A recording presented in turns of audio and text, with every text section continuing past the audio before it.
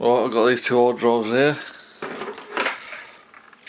You're going to clone for one to the other. I've just got them connected via USB into the USB ports. So I've got a 160 gigabyte one with the, uh, it's got Ubuntu on that I need to clone to this 241.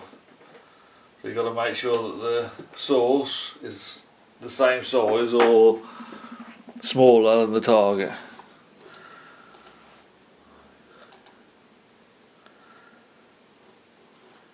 So I picked one of them up for some reason.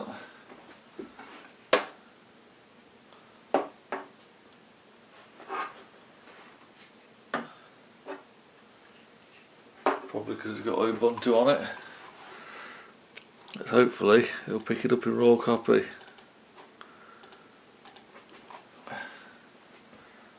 Which it has. So I'm going to boot from, well not boot, I'm going to clone from the 160 so I'm selecting that as the source. So it's saying source device selection so. And then target device selection is going to be the 240 kilobyte uh, kilobyte one. Gigabyte one. So just double check everything.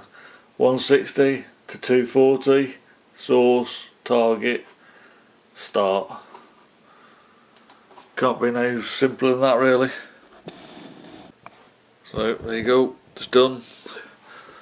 Started at 1633, ended at 1808.